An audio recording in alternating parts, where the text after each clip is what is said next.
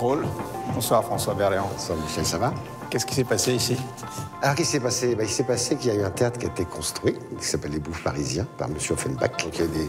Successivement, il y a eu euh, Jean-Claude Brialy, il y avait eu Jean Marais, il y avait eu euh, Sacha Guitry. Guitry. On m'a dit que Gabin avait débuté ici. Gabin avait débuté ici. Donc voilà, c'est que des, que des grands noms du, du théâtre, du cinéma.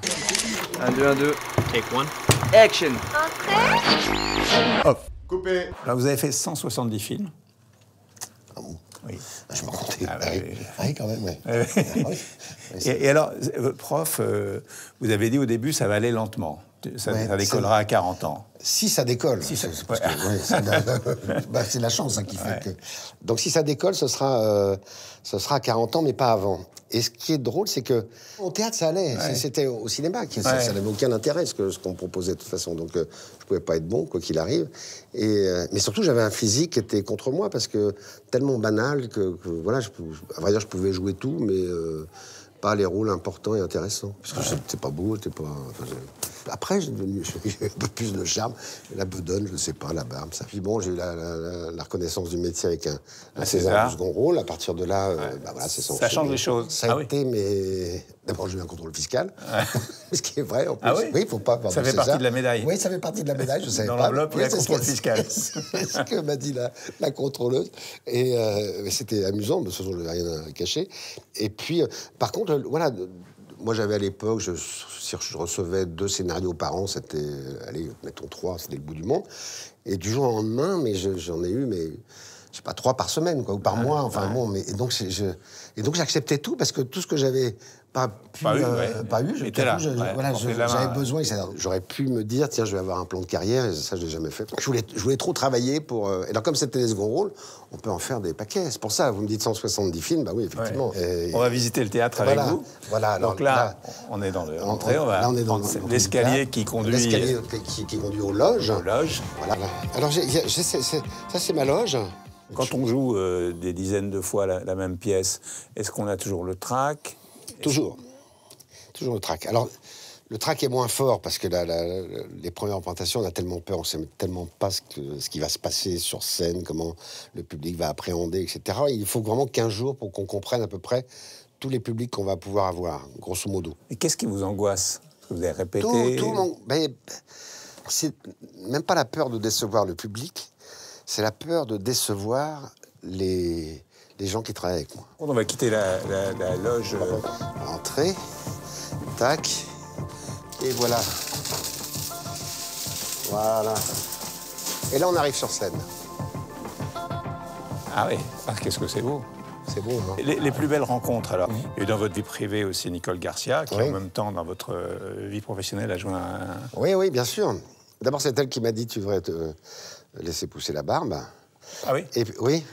Et puis, il y a une cooptation quand j'ai fait Partage de Midi, parce que si j'avais pas fait Partage de Midi, bah, je, je serais toujours non subventionné. Je ne pense pas que j'aurais fait la carrière que je, je fais là, à l'heure actuelle. Et puis voilà, on a une autre histoire. Le fait que moi, tout à coup, je me retrouve avec elle, euh, l'œil des, des amis a changé sur moi. Donc, Ouais. c'est qu'il n'est pas, pas Canistrion, c'est aussi quelqu'un qui a peut-être un peu quelque chose dans la tête. Et vous aimez aussi vous intéresser à la- à l'actualité euh, Oui, la politique, La politique, beaucoup. oui. euh, Est-ce qu'on peut dire que vous êtes centriste? Ouais, alors, oui. Bah, c'est vrai qu'avec euh, le président de la République, Emmanuel Macron, j'étais de gauche avant, Mmh. très très à gauche, puis un petit peu moins à gauche, puis un peu plus au centre, puis en l'air. On se dit, mais il y a des choses formidables à droite, il y a des choses formidables à gauche, est-ce qu'on peut pas faire? Mmh. Donc, ni droite ni de gauche, ça moi, ça me. Le nini me m'allait bien.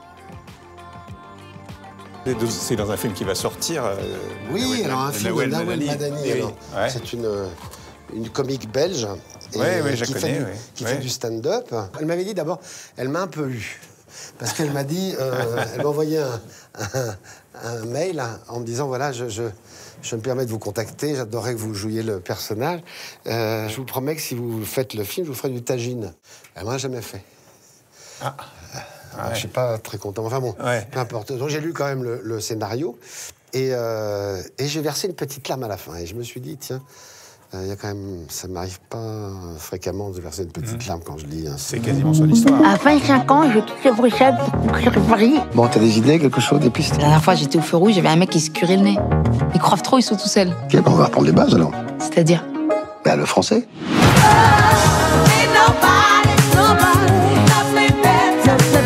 Enfin, si vous voulez, c'est le parcours initiatique d'une jeune femme qui. Reste toi-même. Je vais tout niquer, d'accord? Il y a personne comme moi dans le game. Vous avez joué dans 170 films. Est-ce qu'il y a un rôle que vous attendez encore? Bah alors oui, mais j'en sais rien, mais lequel? Parce qu'il n'est pas écrit. Ça, Non, mais, euh, Oui, oui, bah je, je- ce serait euh, un peu genre mon idole, mais avec euh, en deux parties, c'est-à-dire très méchant comme euh, je peux l'être dans mon idole, et après l'inverse, quelqu'un qui, qui, tout à coup, euh, voilà, s'écroule et puis devient euh, quelqu'un de, enfin ce que je suis dans la vie. Quoi. Vous seriez bien dans un rôle de président de la République. Oui, vous aimez la politique. oui, ou oui, quand vous- avez des contacts avec les, présidents de la République, avec les. Oui, oui, mais c'est particulier parce que c'est une, po- c'est une, c'est une posture. Alors, euh, j'ai fait des grands professeurs de médecine, j'ai fait, des- j'ai fait des tas de, des tas de, de rôles de, de, de- de personnages qui avaient du- un pouvoir comme ça, enfin qui avaient le pouvoir. Mais c'est vrai qu'un président de la République, ça me plairait bien. Mais la place est prise par euh, Nils Arestrup, qui est celui que je fasse. C'est beau de voir les, Ouais, l'extérieur. Et là maintenant, on a les poubelles qui vont passer, donc ça va faire beaucoup, beaucoup de bruit. Donc moi, je ne sais pas si vous comptez rester là, mais ça va faire un bruit épouvantable. La dernière question, c'est toujours la même. C'est à part ça. Et à part ça, bah à part ça, moi, je, je joue dans une pièce que j'aime beaucoup. Voilà. Et à part ça, la vie va bien. À part ça, la- j'écoute de la musique. Et, et- non, mais à part ça, c'est ça. C'est la pièce que je joue parce que c'est une pièce qui me qui m'amuse beaucoup. Merci beaucoup. Merci à vous. C'est l'heure des Merci, poubelles. Michel. Oui, c'est l'heure des poubelles.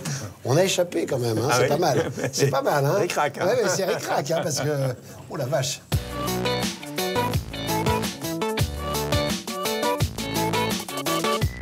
Tadada. Dernière. Coupé.